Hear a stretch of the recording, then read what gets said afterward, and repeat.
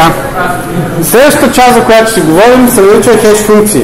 И тези хеш функции имат нещо общо с хеш функциите, за които вие сте чували в програмните езици, но тези, за които вие сте чували, се наричат криптослаби хеш функции, няма да говорим за тях. Идеята е първо да ви обясня а, какво е хеш функция. След това да ви обясня защо ползваме и какви атаки има също това нещо.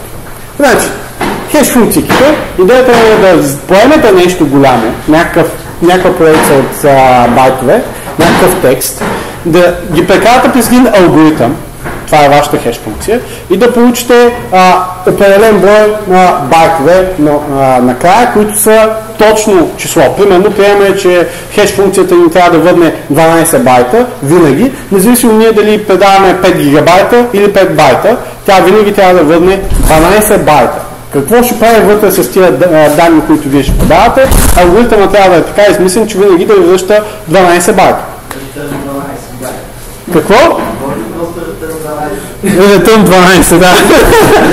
Но, може да направи такава хеш функция, но тогава тя е вълна на първата атака, която е кръжена атака, всичко връща 12 байта. Получавате? Така. А, хеш функциите се дефинират като еднопосочни функции. Тоест, това, което вие ще подадете на инпута, в никакъв случай а, не се появява в аутпута и не е пряко свързано с аутпута, т.е. от аутпута на тази функция а, не можете а, директно да разберете а, какъв е бил инпута. Тоест, ако вие направите тия 12 байта, по никакъв начин от тях не може да генерирате тия 5 гигабайта, които са минали през хеш, функци... хеш функцията, за да се получат тия 12 байта. Би било много яко, ако измислите нещо такова 12 байта да направим 5 гигабайта, това ще бъде изключително добър антивирус алгоритъм. Да, аз ще го платя. Биткоина в момента работи като прави нещо подобно. Не.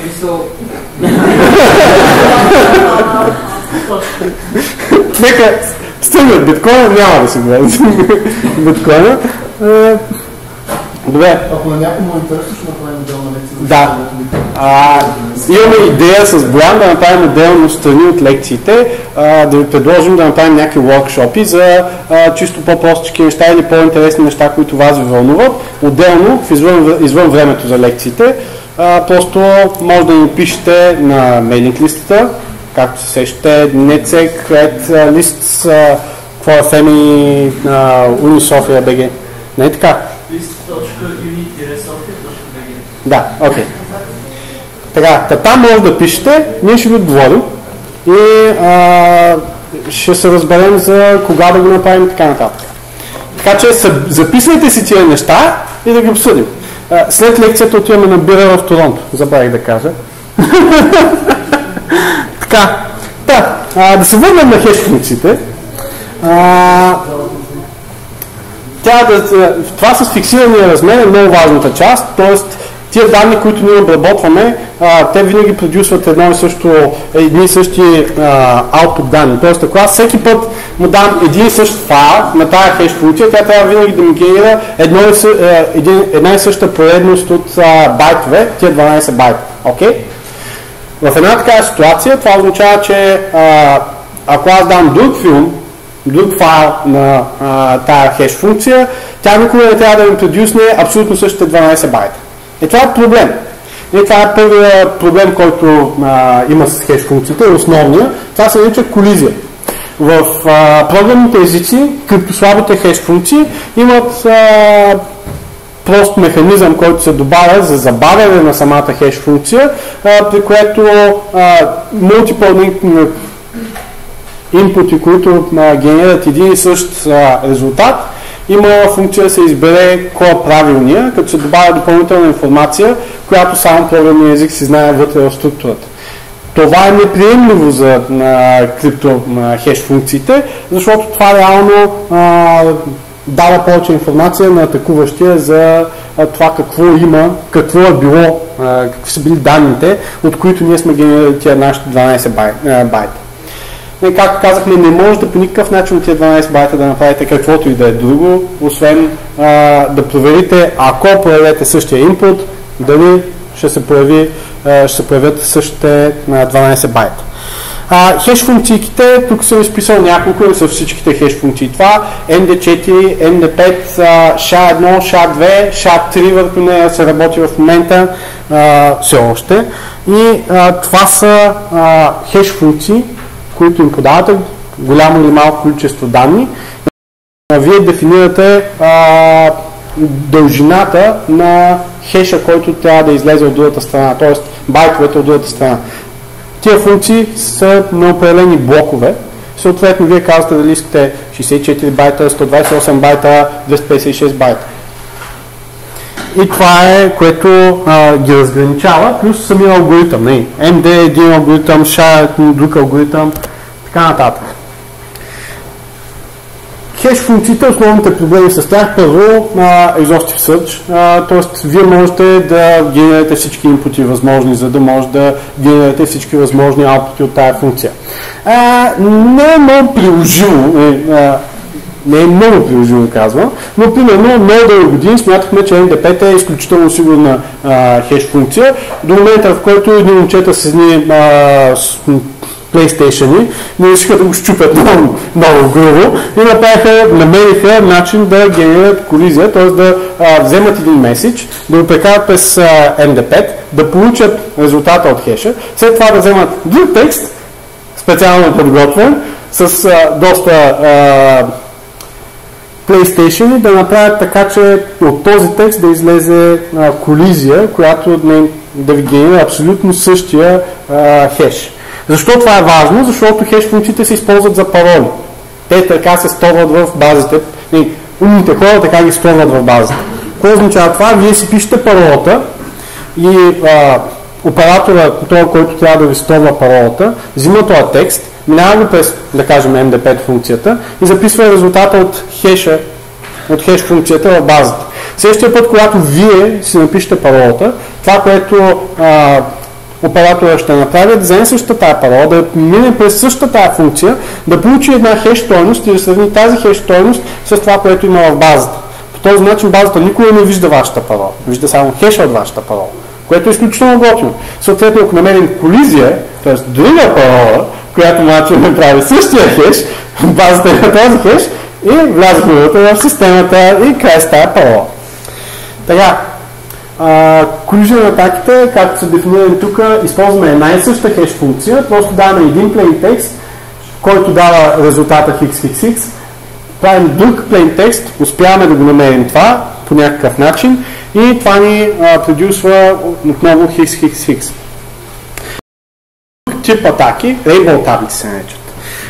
Идеята каква е? Uh, взимаме една хеш функция и взимаме някакъв дикшенери с а, възможни инпути и ги подаваме и генерираме абсолютно всички възможни хеш резултати. Съответно, не, добре, не всички възможни, но много. И а, това, което трябва да направим е следващия път просто а, да проверим а, дали на хеша, който сме намерили, а, го имаме в нашата база и той мачва някоя парола. Тоест, Rainbow таблиците са готови, може да си ги свалите гигабайти от интернет. Примерно слагате 60 гигабайта Rainbow таблица за MD5 и а, пишете, а, взимате хеша, от някъде сте намерили хеша на а, паролата на някой, примерно да кажем на гаджето, и а, слагате го, отстрани, проверявате в файлчето дали го има този хеш, също този хеш се появява истинската парола, а паролата на гаджето е пасворд 1, 2, 3, 4, 5, 6. ще се изненадате колко такива пароли се хващат много лесно, директно с Rainbow таблицата. Аз това се го правя веднъж годишно на паролите на нашите клиенти. Ние ги държим в хешове и а, просто проверявам хешовете спрямо Rainbow таблици, които са публично available, а, за да видим колко са тъпи нашите клиенти. Имаме много. От гледна точка на генерация на пароли, хората сме много неизобретателни. Също като с имената на улици. А, така, тайминг атаки а, върху хеш функциите. Хеш функциите трябва винаги да бъдат в а, а, константно време да се свършват работата. Защото когато не е в константно време, някои от а, хеш функциите имат една част, която се нарича compression функция. И тия неща, ако успееш да ги забавяш по-отделно, примерно, ако приемем 128 битов, а, а, 128 битова хеш функция, това се разцепва на 4 отделни части и а, това са ни по 32 а, бита на част. Всяк, всеки един от всеки 32 бита ние ги вкарваме в тази compression функция. Ако може да измислим определени символи, които да забавят едното, а пък другите да останат константни, ние ще знаем какво това прави в момента, т.е. да забавим една част от функцията. Затова това, което правят хеш функциите този compression алгоритъм, т.е. алгоритъма за а, смесване на тия а, данни, а, го правят на няколко паса. Примерно разцепване на 4, после събираме двете, събираме другите две, после събираме резултата от тия двете. Това цялото нещо го събираме и правим а, резултатния хеш. Ако може да забавим една част от това нещо, ние може да разберем тая част, какво точно е правилно в този момент. А, нямам директен пример за това нещо, просто съм чел криптоанализи за тайминг атаки върху NDP. Последното нещо е криптоанализи. Те са свързани пък начина по който а, крипто м, хеш функциите работят. Примерно, а, когато няма достатъчно данни, за да може да направим тия 32 бита, те правят някакъв падинг.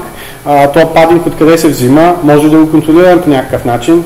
А, а, имаме това е само за, за падинга. Допълнително, ако може ние по някакъв начин да повлияем, примерно да изчепим рандомнес от рандом генератор, от entropy pool и а, да може да излиза само от псевдорандом информацията, а, по някакъв начин ние може да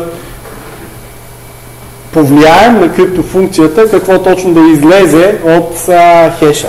Съответно, тази криптофункция да се намира там, където ние ще сравняваме с а, базата, перфектно на мястото, където ни трябва да изчерпим MD5 функцията от randomness и да генерираме падинг, който ние може да контролираме, като го променим този падинг, естествено, вече ние сме променили plain текста, който ние сме дали реално. И това ни генерира нов хеш, този, който на нас не трябва.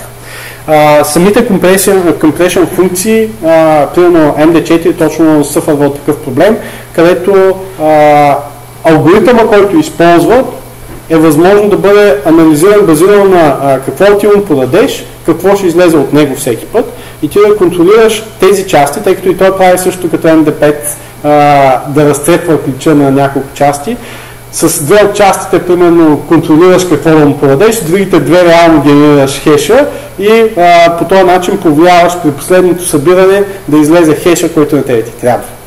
Много тарикатско са измислили да атакуват самия алгоритъм, не? Нали? как събира, примерно, А плюс Б или ги умножава и така нататък, който го интересува да прочете за атаките на, а, MD, върху MD4, всички останали надграждат в тази посока за compression функциите.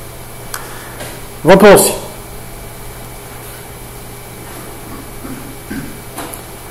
Да. Ако имаш, ако знаеш на какво, какви символи ти, имаш ограничен брой символи, не е ли да направиш хеш функция без преди? Това са други хеш функции. Сега, на крипто хеш функциите, идеята е, че ако ти дадеш, примерно, числото, не, да кажем, че имаш а, 6 цифри само, и тия 6 цифри не могат, нали, числа, които са само 6 цифри, те са крайен брой, нали така?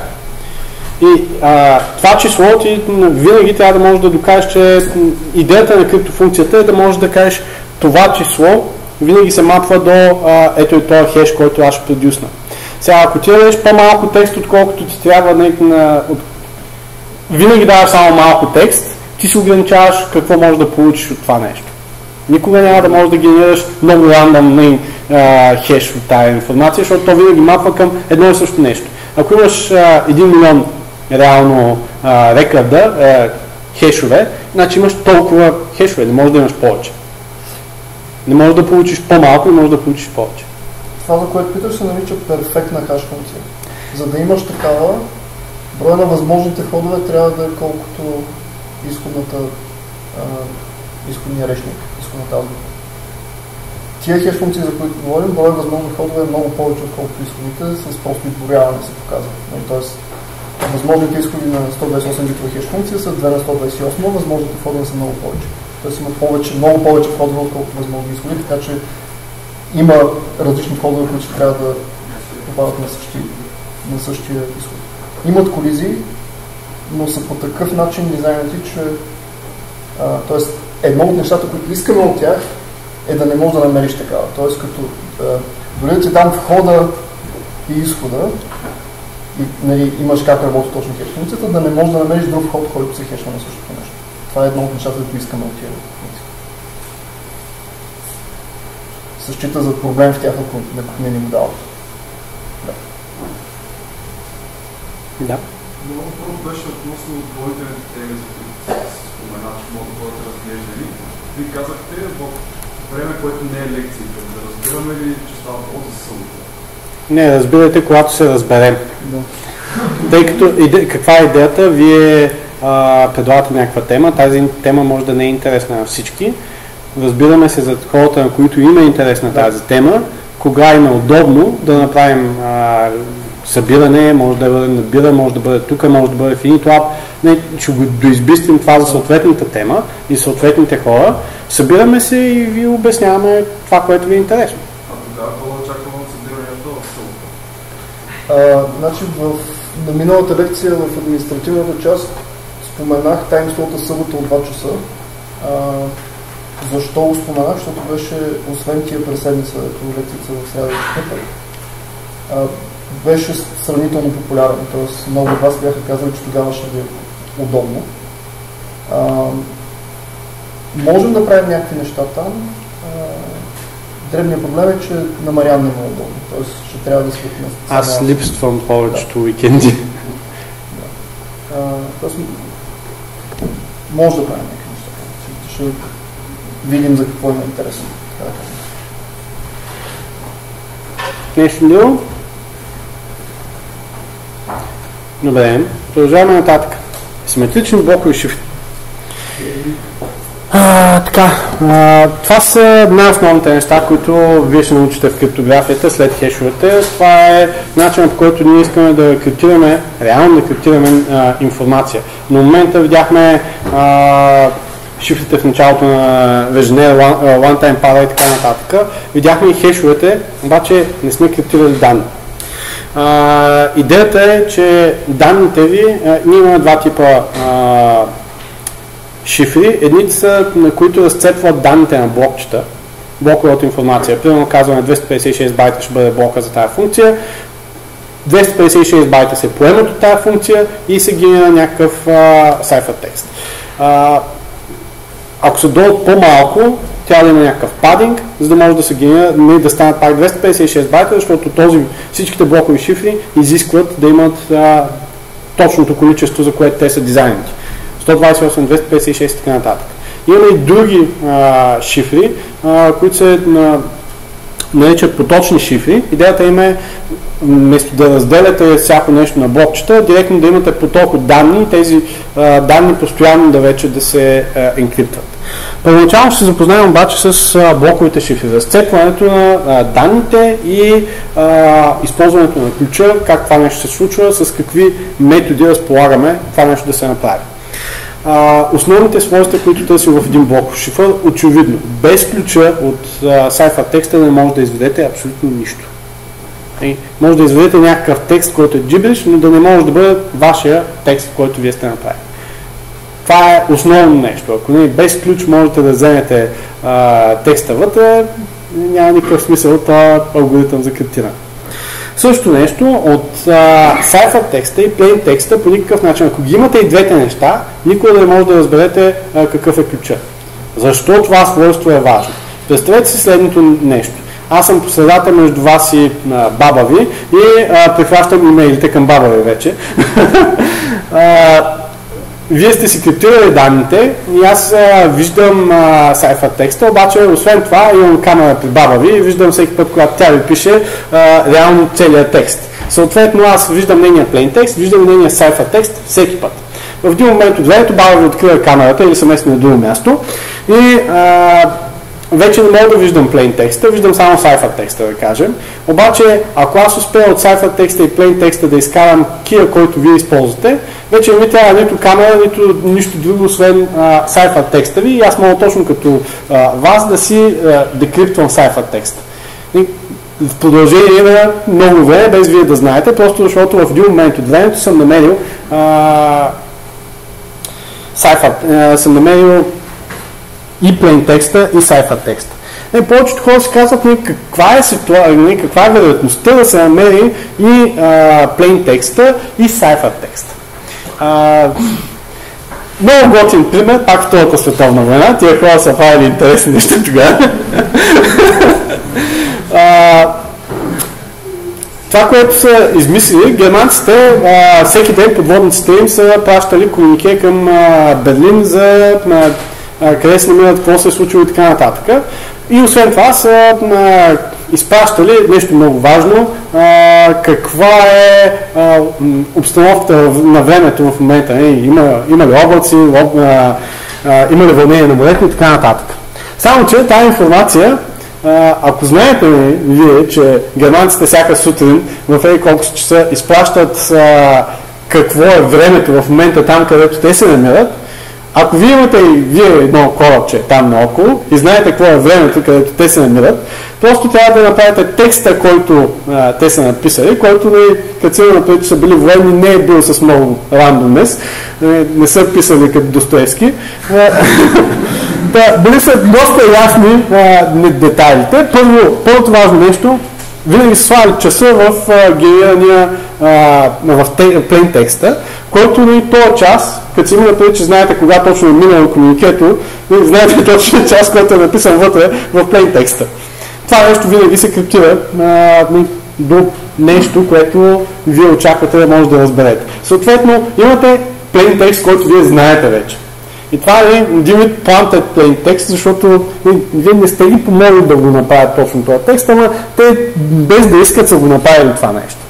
И сега някой хора се казва, да, но това е Втората световна война, тогава как се е случва, не, това нещо не се случва повече. Ами, напротив, случва се, защото в момента използваме протоколи, за които си говорим по-нататък, като HTTP, TCP и така нататък. Тия протоколи имат точно определени филдове, които са много ясно дефинирани в NFC-та, които дефинират нали, какво точно има в началото. Тоест, в началото, като почнем да предаваме информация, има това поленце, това поленце, това поленце, това поленце и така нататък. И тия поленце знам с каква дължина са, какви стойности могат да имат вътре.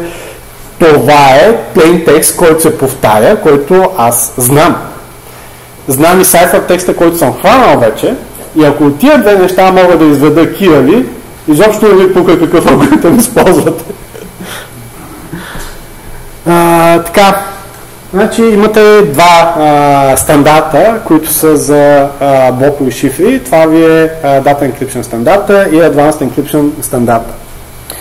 Сега ще разгледаме как може да, изпол... как може да направим блоков шифър, т.е. как да използваме блоков шифър. Първият вариант, с който започваме е Electronic Codebook. От сега казвам, не го ползвайте, просто за да може да разберете какво е блок шифър, го включваме тук. А, всеки един блок се криптира отделно с ключа, което означава, че вие взимате данните от, да кажем, примерно 128 байта ви е един блок. Всичките тия данни, както беше с Lemon, Lemon, Lemon, Lemon в началото на лекцията, вие си слагате ключа и почвате да повтаряте всяко едно нещо. А, проблема на това нещо е, че а, когато го направите по този начин, това, което вие сте криптирали, може да не изглежда много а, не, лесно за декриптиране, обаче 100% гарантира, че а, вие може да го прихванете и една част от този текст просто защото той използва същия ключ, over and over again. Съответно, той се повтаря и вие нямате никакъв проблем да инсъртнете в която е до комуникация, която използва а, ЕЦБ, а, по средата нещо, което преди това е минало.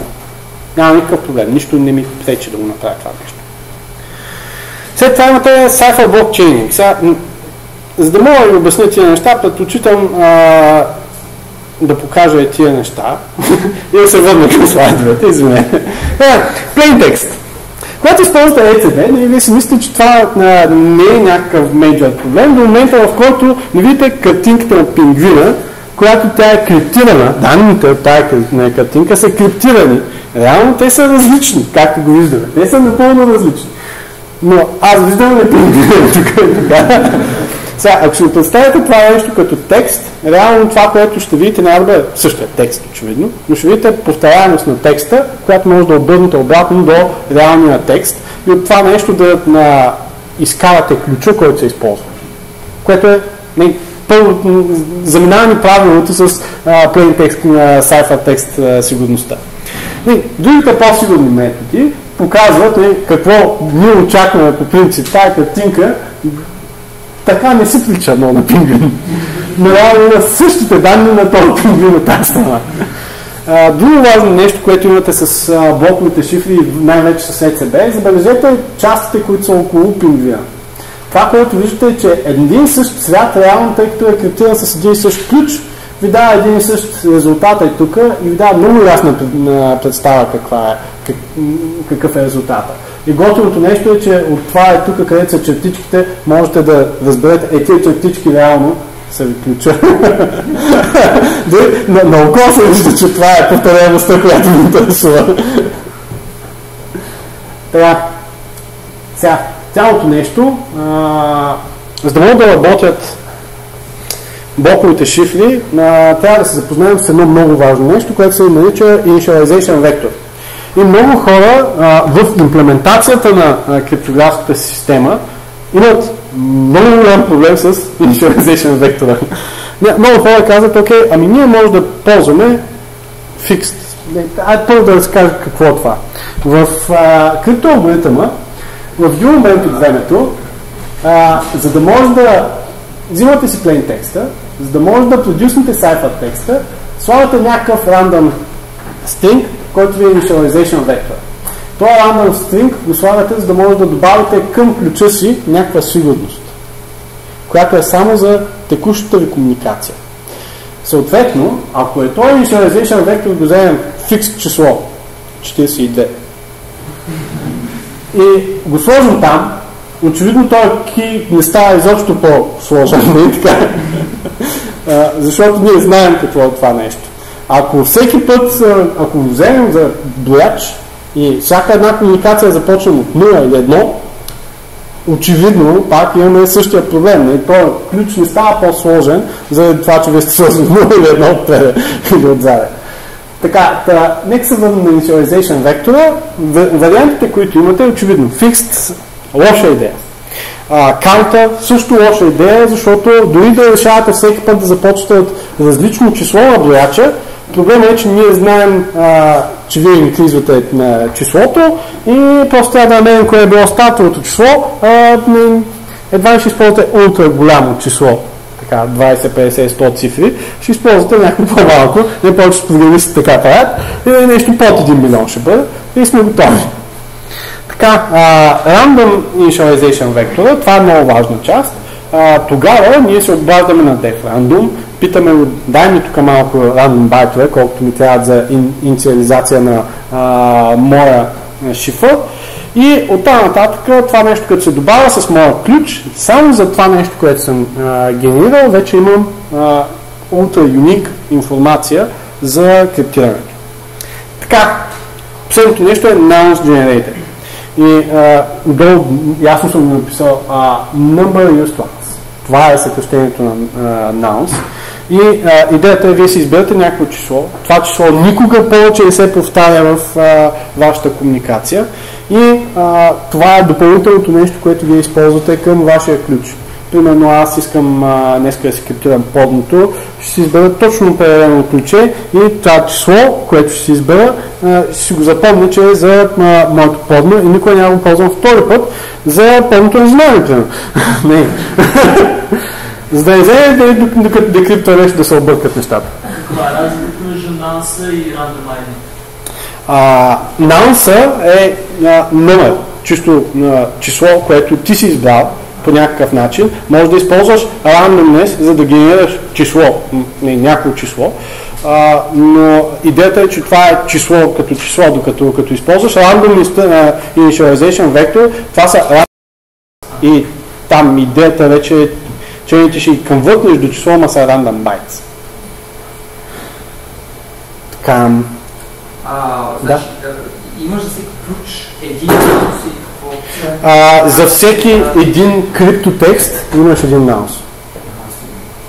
В зависимост от това кое, е, какъв метод използваме, малко по-нататък имаме за различните методи, а, може този наус да се прегенерира, да се променя, но initially ти използваш този наус веднъж и си го записваш заедно с ключа ти. Не, така правиш по-сигурен твоя ключ за всяко едно нещо, което си криптирал. Не, криптираш си документите за а, офиса с а, твоя ключ, обаче с различен наус. Криптираш си документите за вкъщи с твоя ключ пак, обаче с различен наус. И сега, въпреки че ползваш един същ ключ и за документите за вкъщи и за документите за а, офиса, те са на генерирани с- по различен начин. И дори да ти взема ключа без науса, пак имам проблем. Един вид нас ти позволява да използваш това един и същи ключ някакъв път. А и изобщо. Аха. Това е идеята на Initialization Vector. А, Значи там, примерно, има random ID. Но се не, не е задължително да е random. Но се може да се взима, значи в някаква криптосистема може да се взима от другия. Имаш сървър и клиент, Да. обажда се на сървъра, той ти дава нос, който ти използваш. Значи. И ти разчиташ, че той е избрал в носа. Няма да раздава същия Ако нос. някой да послуша, не това не е Ще стигнем това следващия път, как се решава Main in the Middle с uh, Diffie Cameron Exchange. Да. Всъщност дори най-ним имаме ли имаш после ключа, че това пак става. Значи тия, не, из- изобщо нещата, за които говорим сега, хеш функции, симетрични криптографски алгоритми и асиметричните, те влизат в някакви криптосистеми, нали, да защитават от атаки върху цялото нещо. Хваните само симетричен ключ. За да го ползвате сигурно, ще, ще ви трябва две неща. Едно, да имате същия ключ, двамата вече си говорите, и две всеки път да избирате различен инициатив. И в. А, и в криптосистемите, като ползват такива неща, въртят ключовете поради разни причини. Тоест не, не продължават да ползват същия симетричен ключ за твърде много данни. В един момент от времето всяка една, а, всеки един сайфър текст а, става лесно атакуван от а, статистическа атака. Тук говорим за крипто статистически анализ, но пак колкото повече данни има, особено с компютрите, които имаме в момента, реално е възможно този сайфър текст по някакъв начин, може не целия, но частично да бъде а, изведен. Така че идеята е колкото повече данни прехвърляте, нали, да си сменяте ключа в, а, след известно време. Точно за това се прави. Другото нещо за науса е, че когато го предава от срещния човек, а, вие може да не си го запишете и съответно тази информация, която е криптирана, от там нататък вие да не може да я декриптирате, въпреки че имате ключа. Но това са пак редки случаи. Други въпрос видях някъде така. Добре. Какъв смисъл да се ползва IV вместо... Смисъл, ако един ключ и искаш да два пъти с След на слайдовете, които са с блок схемите на а, блок шифрите, ще го разбереш само да стигнем до там. За да може да разберете обаче блок схемите, трябва да минем този слайд. а, така, КСО. Има някой, който не знае какво е това нещо? Колко човека знаят какво е ексклюзив? За останалите, това е багана операция, която имате и тая табличка, ако имате 0-0, да, 0, ако имате... А, Окей. Продължаваме нататък тогава. Така, ЕЦБ-то, основният проблем там е, тъй като използваме същия ключ и го използваме повтаряне, повтаряне, видяхте сайфа текста какво се получава. При криптирането, значи от тия блок схеми, горната част е криптирането, долната част е декриптирането.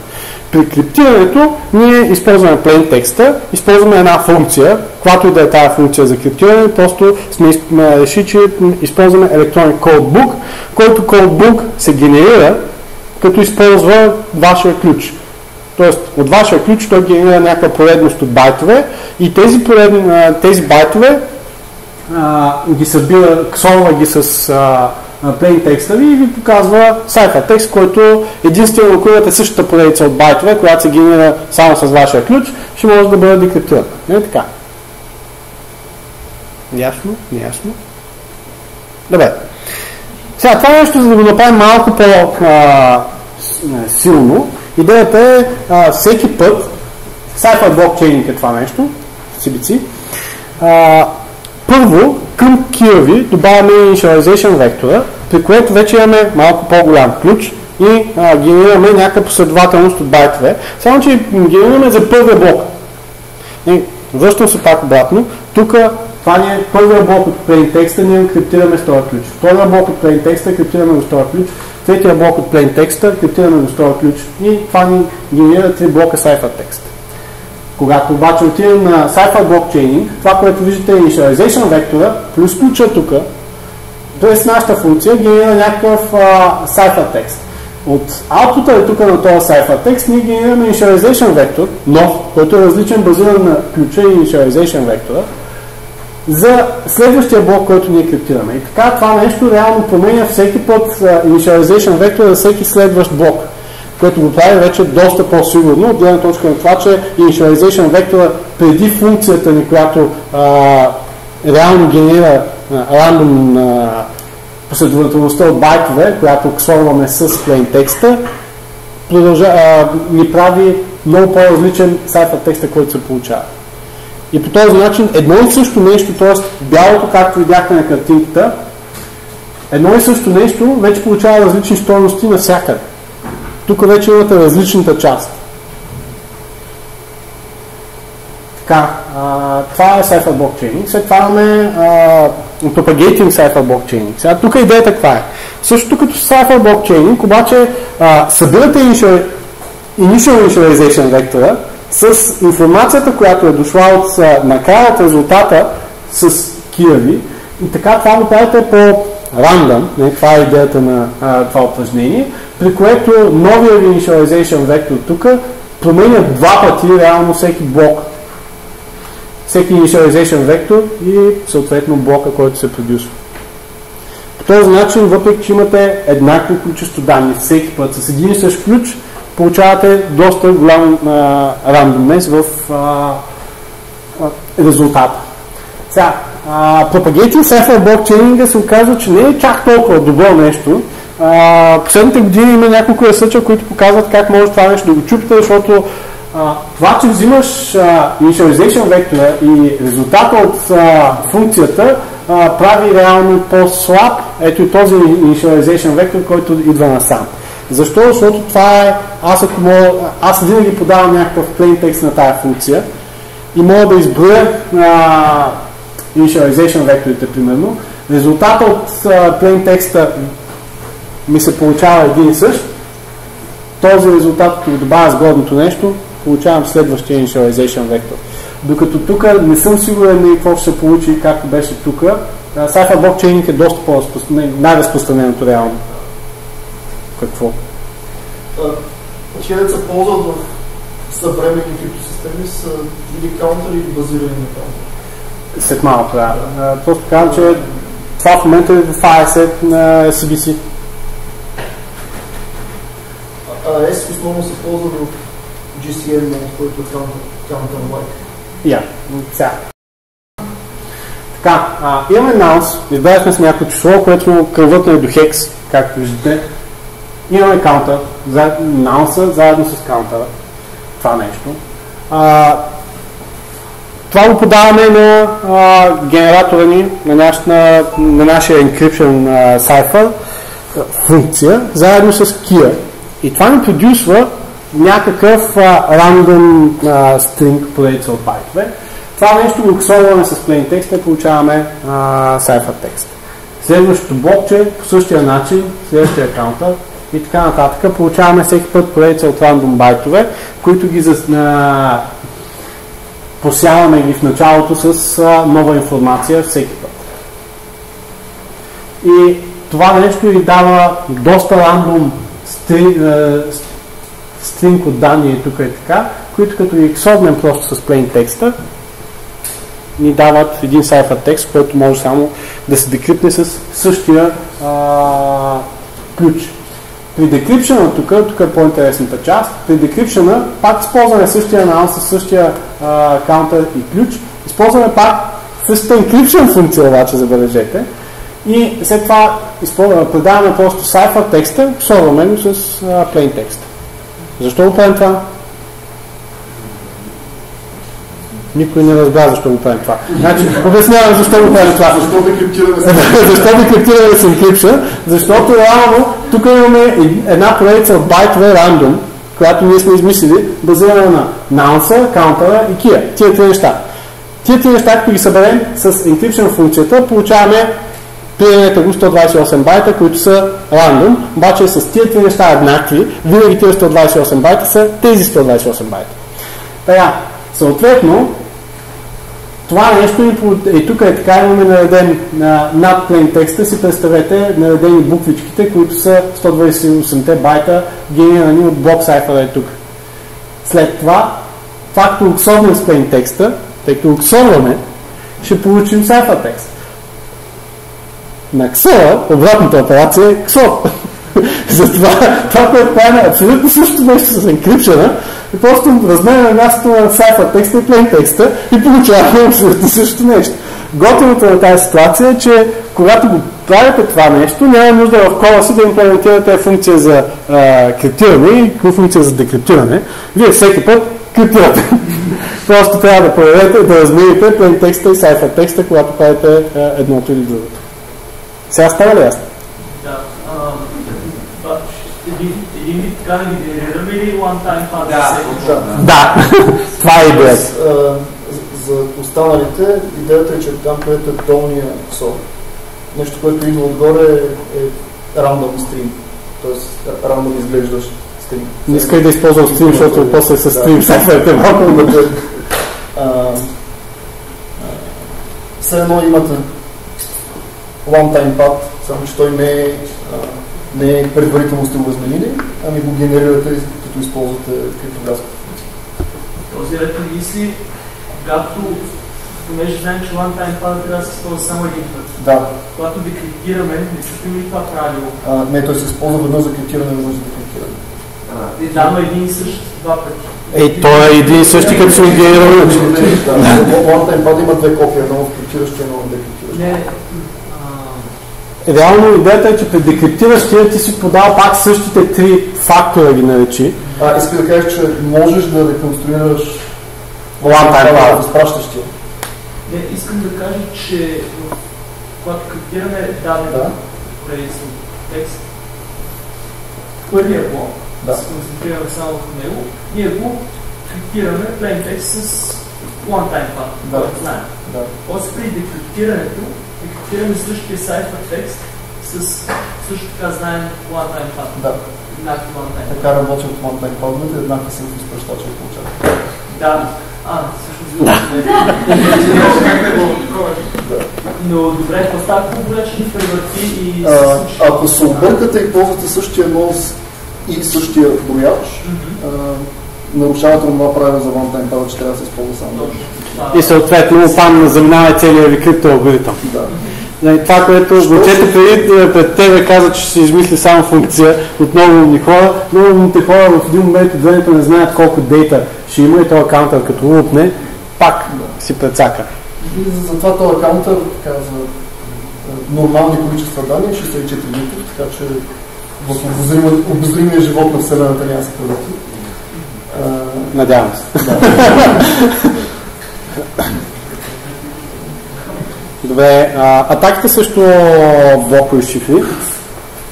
А, първо, това с предварително избрания plain text, вече го разказах, основното нещо.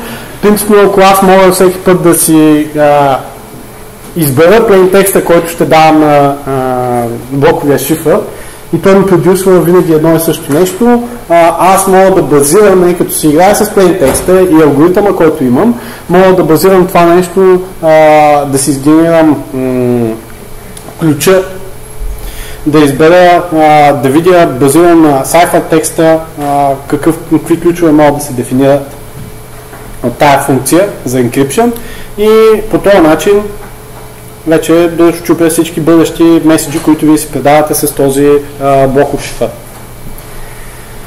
А, сега, бъде так ще го обясня последно, защото винаги не, ще го объркам. така. Слабите ключове са очевидно а, досадно нещо на блоковите шифри. Ако имате слаб ключ, блоковия шифър по никакъв начин, както видяхте, не се опитва да го направи много по-силен този ключ. И, изключваме initialization вектора, ако ви е слаб ключа, представете си 1, 2, 3, 4, 5, 6, аз мога просто да ви brute на, на сайфа текста, като знам а, функцията, която е за криптиране и от тази нататък а, ще ви знам ключа и ще мога да си декриптвам абсолютно всичко. Brute force го има като атака за всички криптосистеми. Сега въпросът е доколко е смислен, feasible, е постижим force. Защото ако криптоалгоритъма ви е измислен, измислен по такъв начин, че ви отнема две години, за да може да а, хванете ключа, ами просто вие ще направите така, че на, една, на всяка година да си сменяте ключа и не ви пука. Обаче ако се случи така, че а, се появи нова машина, която е много по-мощна, е сега тия квантови компютри, които могат това нещо от вместо две години да го сменят на две седмици, и тогава това, че вие имате полиси всяка година да сменяте ключа, става totally useless. По това си има предвид, че всички brute force атаки са feasible в един момент от времето и след 100 години може би всичко това, което си говорим, че бъде за една секунда ще го случват, а никой не знае. Така, слабите ключове, пак се върна на тях, имат и второ property лошо, а, имат dictionary атаки. Dictionary атаката какво представлява? Аз изимам един а, файл, в който има изписани думи. Думи, които са често използвани за пароли. И всяка една от тия думи а, я тествам срещу вашия сайфер текст с криптоалгоритъма и виждам дали ще се получи някакъв смислен текст. Ако се получи смислен текст, целият текст е смислен, значи най-вероятно ви, а, на вас това ви е паролата. Има някакви а, гении, които използват а, прости пароли, обаче в plain текста слагат special characters, така че да си помисли получателя, който чете това нещо, че текста, който са декодирали, не е, не, не е цялостно декодиран, т.е. това не е верният ключ. Това е много лоша идея. Няма смисъл, защото реално там ще има смислен меседж. Аз всеки път ще го видя смисления меседж. Мога да дискат на останалите байтове, без да му пука това нещо. Доста лесно. Така, за бърдър атаката а, идеята е, че а, всички блокови шифри а, имат проблем с това, че вие ще предадете някаква информация. И тази информация ще предадете, обаче не знаете кога сте я предали във времето. Съответно тази информация, аз най-често това обичам да го показвам като а, команда за атакуване. Е, командата за атакуване а, е дадена а, миналата седмица на а, фронта във Франция. След това а, Хитлер е решил, тази седмица ще атакуваме на друго място. Само, че а, американците са прихванали а, този текст и знаят, че а, това е била команда за атакуване, защото са ги атакували. Е така. И това, което а, правят е, ми отиват на друго място, където в Италия, където още не са дадени команди за атакуване, и пращат команда за атакуване и американците се изтеглят в същия момент. Не, те, те пращат това нещо, те предават а, тая информация, която вие, вие сте предали криптирана. Това е реплей атаката реално на а, блок шифрите. Много често а, вие можете да вземете един сайфер текст, ако знаете нали, началото, края на сайфер текста е цялото нещо, ако можете да из, се ограничите до това, което ви трябва и да го предадете само него, вие можете да предадете същата информация. Другото важно нещо е също deletion. Представете си а, изтри user hix, user admin, user root. А, тази информация, ако може да я хванете и после да я повторите, и от другата страна просто те ще се декриптнат, вие няма да сте разбрали точно. Тоест, по страничен канал сте разбрали, че това е информацията, която е написана вътре в сайфа текста, но все още нямате ключа, не можете да го прочетете това нещо, вие можете целият сайфа текст просто да го повторите. Бъде атаките имат и на другото property, което е свързано с а, информацията, която а, давате с, примерно с каунтера, точно това, което казах. ако вие почнете да повтаряте едно и също нещо, като каунтера точно, вие нарушавате а, целостта, сигурността на а, тази функция. И Брайан, ако искаш се включиш тук. Това, за което говорим, Алиан се нарича реплей атака. Бърта и атака е едно друго нещо, ще отпратим до друго идея, ще стане много късно. Така, следващия път директно започваме с а, а, симетрични поточни шифри. Имаме да си поговорим за публичен частен ключ криптография, плюс а, ще говорим за сигурно разменяне на ключове. Така.